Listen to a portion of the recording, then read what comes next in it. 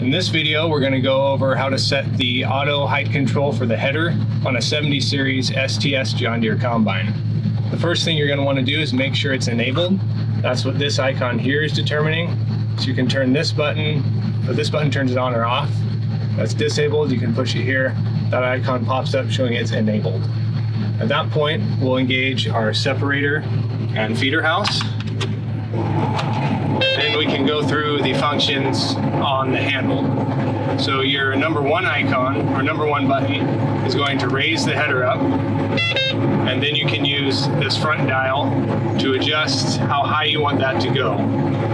The number two button is going to lower the header back down. And that's going to allow you to then adjust how far down you want to be with this forward dial.